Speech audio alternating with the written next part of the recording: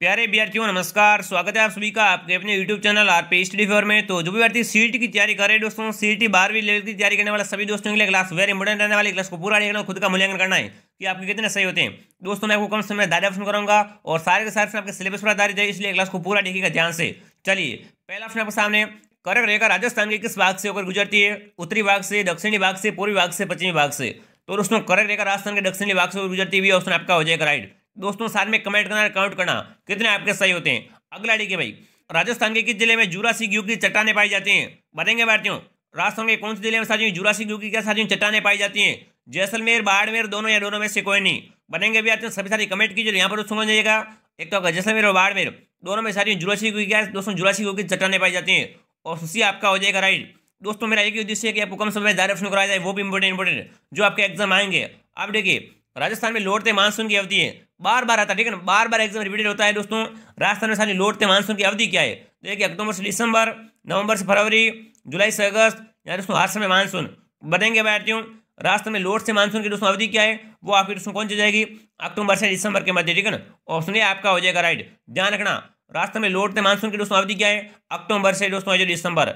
आगे बढ़िए क्या पूछ देखिए राजस्थान में जल के द्वारा अपर्दन सबसे अधिक किस नदी द्वारा होता है? देखिए लोनी नदी के द्वारा बेचर द्वारा चंबल द्वारा सोम द्वारा बढ़ेंगे भारतीयों राजस्थान में साथियों, जल के द्वारा सबसे अधिक अपर्दन किस नदी के द्वारा होता है? तो ये दोस्तों किस द्वारा होता है? ये होता है चंबल नदी के द्वारा, ठीक है ना? चंबल नदी के द्वारा सी आपका हो जाएगा राइट। बार बार क्वेश्चन आता है एग्ज़ाम में, चलिए आगे बढ़ते हैं।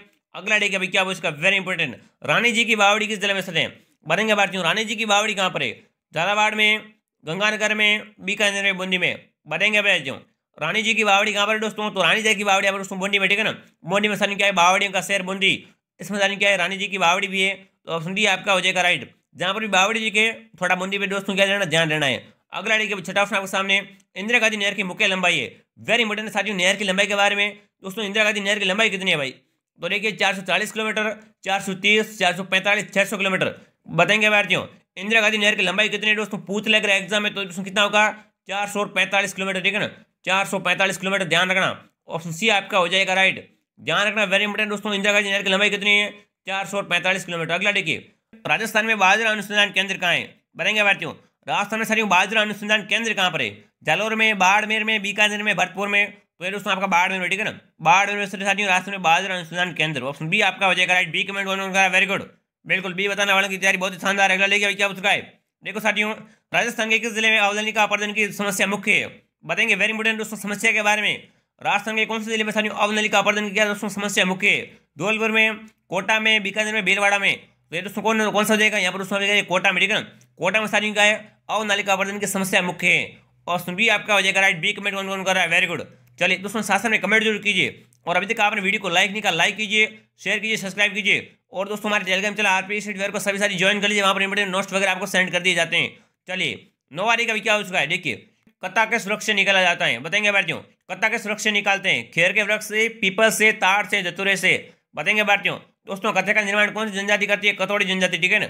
और उसमें कत्ता के सुरक्षा निकालते हैं, वो आपके खेर के वृक्ष निकालते हैं। ऑप्शन आपका हो जाएगा राइट। एक मिनट वन वन करा है। ठीक है ना, अपनी तैयारी को जांचना, कमेंट ज़रूर कीजिए। अगला ठीक है भाई, राजस्थान में बालुओं का पहला सुरक्षित क्षेत्र कौन सा है? बताएँगे भारतीयों, राजस्थान में सारी बालुओं का पहला सुरक्षित क्षेत्र कौन सा है? केवला देव नाहरगढ़, सज्जनगढ़ सुधा माता। दोस्तों, बालुओं की बात हो रही है सुधा माता हो जाएगा राइट। ठीक है ना? राजस्थान का फ़र्स्ट रोप पे ध्यान रखना। चौथा माता जो कि आपका कहाँ पर है? जालोर में। ऑप्शन डी आपका हो जाएगा राइट। चलिए आगे बढ़ते हैं। ग्यारह की क्या हो चुका है? वेरी इंपॉर्टेंट नाल हवाईडा कहाँ पर है?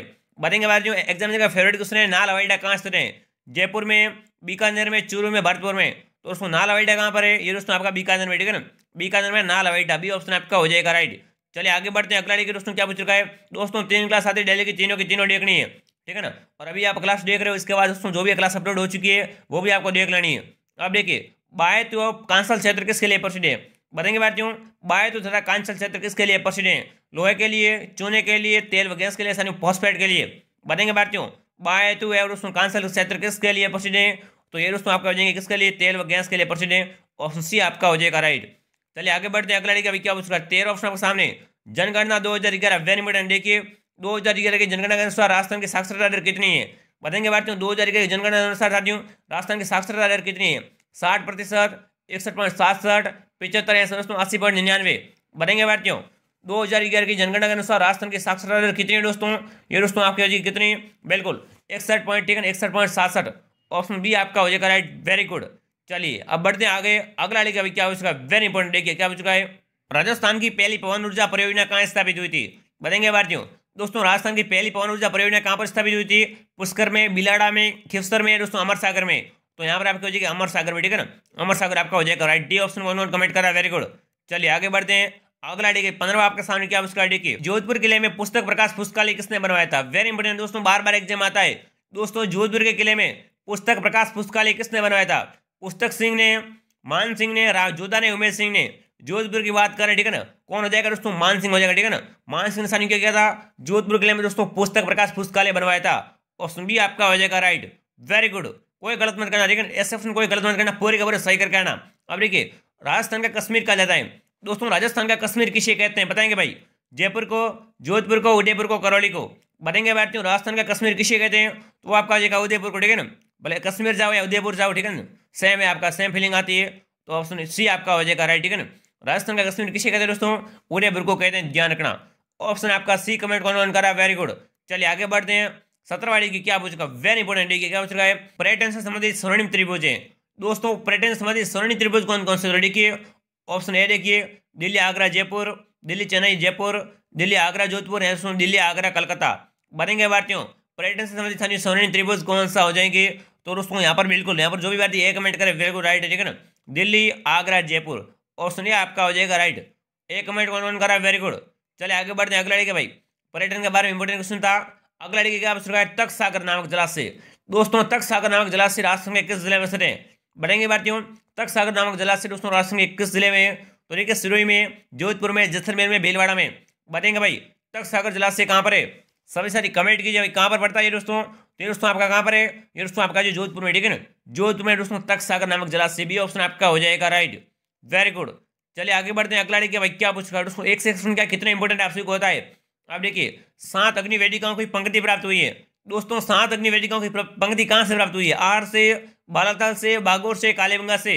तो ये दोस्तों कहाँ से हुई है? ये दोस्तों हुई है कालेबंगा से, ठीक है ना? सात अग्नि वेदिकाओं की पंक्ति ध्यान रखना इंपॉर्टेंट है। डी ऑप्शन आपका हो जाएगा राइट डी कमेंट कौन कौन कर रहा है? दोस्तों वीडियो को लाइक ज़रूर कीजिए और अभी तक आपने सब्सक्राइब नहीं किया है सब्सक्राइब कीजिए। काफ़ी बच्चे ऐसे जो सब्सक्राइब नहीं करते वीडियो देखते हैं ओनली तो सब्सक्राइब कर लेना है। अब देखिए, बड़ली का शिलालेख कहाँ से है? बढ़ती हूँ बड़ली का शिलालेख कहाँ पर है? जयपुर में, अलवर में, भरतपुर में, अजमेर में। बढ़ेंगे बैठती हूँ बड़दी का शिलालेख कहाँ पर है? दोस्तों, बार बार एग्ज़ाम में आता है। ये दोस्तों, अजमेर में, ठीक है ना? बड़दी का शिलालेख कहाँ पर है? अजमेर में इस तरह ऑप्शन डी आपका हो जाएगा राइट चले आगे बढ़ते अगला का क्या उसका है? देखिए, आबू के परमाणु की प्राचीन राजधानी थी। दोस्तों, आबू के परमाणु की प्राचीन राजधानी कौन सी थी? ब्रह्मवती, चंद्रावती, सुरई कोई नहीं तो यहाँ पर आपकी हो जाए चंद्रावती, ठीक है ना? चंद्रावती स्थानी क्या थी? आबू के परमाणु की प्राचीन राजस्थानी थी। ऑप्शन बी आपका हो जाएगा राइट चलिए आगे बढ़ते हैं, अगला देखिए भाई। बाईस ऑप्शन आपको क्या पूछेगा वेरी इंपोर्टेंट देखिए। राठौड़ वंश की मेड़चिया शाखा के संस्थापक कौन थे? बताएँगे भारतीयों। राठौड़ वंश की सारी मेड़चिया शाखा के संस्थापक कौन थे? शाखा बहुत बार आती है एग्ज़ाम में, ठीक है ना? तो उसके संस्थापक कौन थे? तो बताएँगे दोस्तों राठौड़ वंश की मेड़चिया शाखा के संस्थापक कौन थे? दूधा, कल्ला जयमल या दुर्गादास बताएँगे सभी साथी। तो यहाँ पर आपको दूधा, ठीक है ना? दूधा इनके संस्थापक। राठौड़ वंश की सारी मेड़चिया शाखा के संस्थापक कौन थे? दूधा। ऑप्शन ए आपका हो जाएगा राइट चले आगे बढ़ते अगला के भाई। ऑप्शन आपके सामने क्या पूछ गाड़ी शिवाजी के साथ पुरंदर के संधि पर हस्ताक्षर किसने किए थे? बिल्कुल भाई। दोस्तों, पुरंदर की संधि क्या वेरी इंपोर्टेंट बार बार एग्ज़ाम आती है। दोस्तों, शिवाजी के साथ पुरंदर के संधि पर किसने हस्ताक्षर किए थे? औरंगज़ेब ने, अकबर ने, राम सिंह ने जय सिंह ने। बनेंगे भारतीयों।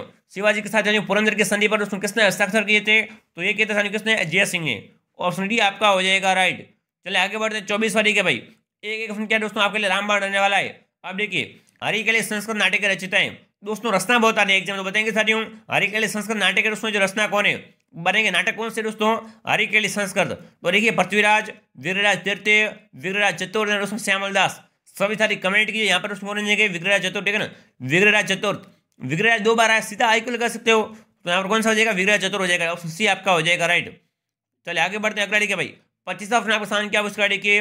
राजस्थान में ईस्ट इंडिया कंपनी से संधि करने वाला अंतिम राज्य कौन सा था एक तो दोस्तों, पहले का पूछते हैं, एक अंतिम का पूछते हैं। तो यहाँ पर क्या पूछता है दोस्तों?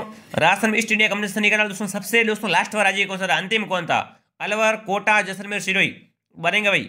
सबसे लास्ट में किसने संधि की दोस्तों, ईस्ट इंडिया कंपनी से तो वो आपका हो जाएगा कौन दोस्तों? वो आपका हो जाएगा दोस्तों ऑप्शन डी सिरोही, ठीक है ना? सिरोही सबसे लास्ट में संधि की थी ऑप्शन डी आपका हो जाएगा राइट चलिए, अब बढ़ते आगे, छब्बीस वाले के भाई। वेरी इंपोर्टेंट मेवाड़ पुकार के सूत्री मांग पत्र का संबंध किससे था? बताएँगे बात वेरी इंपोर्टेंट बार बार एग्ज़ाम आता दोस्तों। मेवाड़ पुकार के सूत्री दोस्तों मांग पत्र का संबंध किससे था? मोतीलाल तेजावत से, विजय सिंह बतिक से, मोहनलाल सुकाड़िया से दोस्तों माणिकलाल वर्मा से। तो यहाँ पर आपको जाएँगे दोस्तों मोतीलाल तेजावत ठीक है ना? इनका संबंध किससे? मोतीलाल तेजावत से था दोस्तों, इक्कीस पुत्री दोस्तों मांग सूत्र, ठीक है? अगला देखिए भाई, अगला प्रश्न क्या हो चुका है? बिजोलिया किसान आंदोलन में किस जाति के किसान सर्वाधिक थे? बताएँगे भारतीयों। बिजोलिया किसान आंदोलन में साथियों, किस जाति के लोग क्या थे? सर्वाधिक थे। बीलदिक थे दाकट थे, राजपूत थे कड़बी तो यहाँ पर उसमें आपके हो जाएँगे दाकट ठीक है ना? दाकट जाति के दोस्तों क्या थे? लोग सर्वाधिक थे। और उसमें भी आपका हो जाएगा राइट। बिजोलिया किसान आंदोलन क्या, जाति के बारे में बार बार आता रहता है भाई, ठीक है ना? इनको आपको याद करके जाना है अब देखिए।